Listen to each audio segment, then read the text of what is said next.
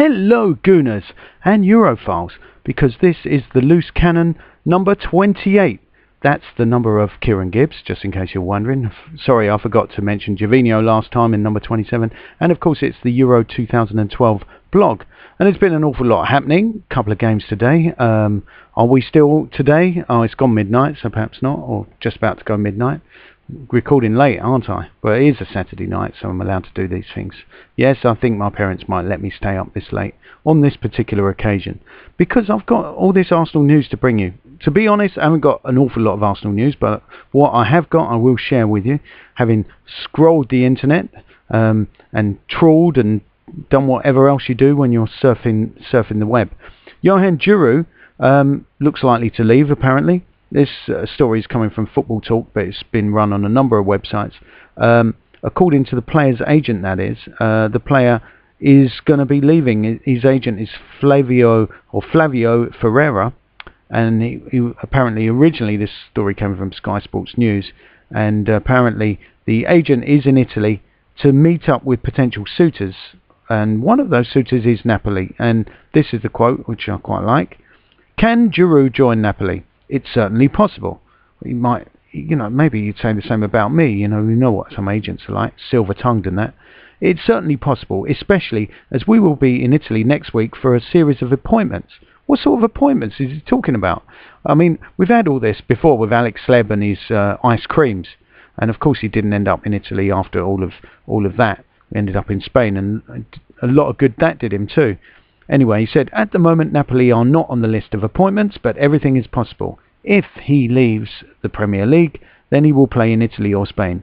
I saw my client the other day and he was enthusiastic about both Napoli and Italy in general. So far, we have received an offer worth 10 million euros, but it is up for negotiation. He wants to play for one of the top five Italian clubs. Well, that's what uh, Ferraria. Is it Ferraria or Ferrer? I don't know how you pronounce it. Ferreria. Let's get it right. I, I, think that's how you pronounce it. That's what he's telling Sky Sports. So looks like could be history. He could be history, Johan Djourou, which is a great shame because I still feel we've not really seen the best of him. Uh, he was a promising youngster, but now, of course, he's 25. He needs regular first-team football, and the chances are he's not going to get it at Arsenal. So you can't blame him for looking further afield. But I'll be surprised if he goes to Napoli. But stranger things have happened in football, let's say.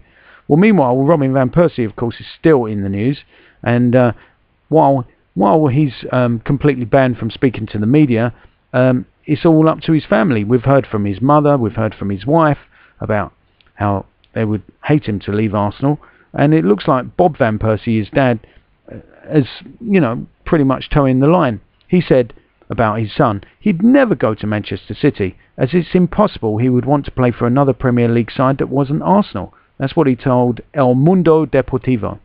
And he said, it would make no sense to go to Barcelona when they've already got Messi. Real Madrid would be a good option, but they are not so much a team as a collection of star names, so he wouldn't really fit in there either. So I'm reading between the lines in this uh, article that appeared in the Sport Review. You'd have to say there is that possibility that Robin van Persie could end end up at Real Madrid, and I think you can't blame him if he if he does elect to go because we're just not really we're just not really doing enough um, in terms of trophy winning. But I'm not gonna I'm not gonna labour the point because I keep going on about this week in week out and day in day out. So I'll just lay off that one for now. You'll be glad to hear. But what I will say, and this is the most impossible story of all, it's on the Metro website, which is normally semi-reliable. The story they're running is this: Arsenal could buy, uh, sorry, Arsenal could bid to buy back Samir Nasri as Manchester City open to offers. Well, that's never going to happen in a million years, let's face it. No matter what the story is, obviously we sold him for good money, around about 25 million. Uh, and now the player's been talking to L'Equipe, and um, it looks like City will consider offers for for the player who's looked good in the friendly games for, for France recently. I don't even know why they'd want to let him go, quite honestly, but but this is a story that's being run. Wesley Sneijder could be up for grabs, and then the speculation goes that if City buy Sneijder, then what would they need Nasri for? Well, they've just won the league. Why? Then I think they're only going to tinker with their squad. I don't think they're going to make huge changes to it. But um, well, there was huge changes. That, that was a very smooth segue, wasn't it? Not really, but there were um, some changes in in the expected Germany lineup against uh, against their opposition, which was Portugal in Euro 2012. That was the second match of the 9th. Yeah, I'm getting I'm getting all technical here. The 9th of June on a Saturday night, and now it's Sunday morning. But you don't need to know that. But anyway, uh, who who starred? Well, certainly Mertesacker didn't didn't start because he didn't play, but Podolski did a did a really really good shift. He was more or less on the left wing. I was quite impressed with him. Um, solid solid performance from Podolski. Um, so we can't complain about that. He didn't score. Gomez scored a goal. It was a headed goal, and uh, thanks to Germany's victory against uh, Portugal, I I won myself 90 pence with a one pound stake. So that uh, that was good news. But I'd had bad news earlier in the day, and I'll come to that in a moment. But yeah, looking at the game, what anything anything relevant from an Arsenal perspective apart from Podolski's solid performance? Um, well, and Mertesacker not playing. The one thing I would, I think it's of interest to to fans of all clubs really, or big clubs, is Neuer's performance in goal was was top draw It's best goalkeeping performance I've seen so far in the tournament. And uh, anyone looking for a goalkeeper, put your hand up. Where's my hand? It's there. Yes. I hope all the Arsenal board can see that hand as I scratch my neck as well because it's got to throw a scratch in there somewhere. All this scratching's making me itch. But anyway, Neuer, he'd be a really good goalkeeper for any top club. So let's get him. Let's get him. But we know these these demands will fall on deaf ears as they always do. Ronaldo, had a reasonable game too, as you'd expect. He's supposedly one of the best or the best player in the world. I'm not going to dispute it because he could be. Uh, it, the, the game the game itself wasn't exciting like the opening two games. Not for me anyway. And a 1 0 result kind of confirms that, doesn't it? And of course, it was 1 0 in the other game as well, and it was a little bit more interesting. Um, the most interesting thing about the other game in Group B, with when Holland uh, suffered a shock defeat against Denmark was Robin Van Persie obviously taking on Nicklas Bendtner, but um, Robin Van Persie's performance was um, well not the best, let's say, and um, it was interesting what Clarence Seedorf said in the BBC studio.